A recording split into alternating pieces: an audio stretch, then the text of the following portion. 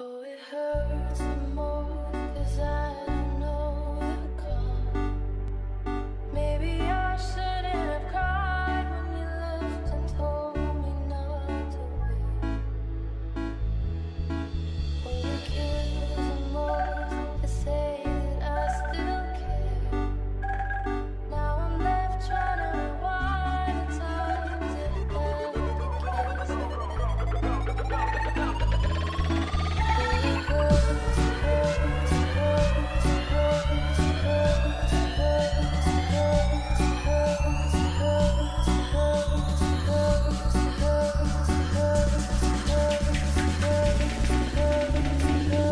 DJ Togo Production.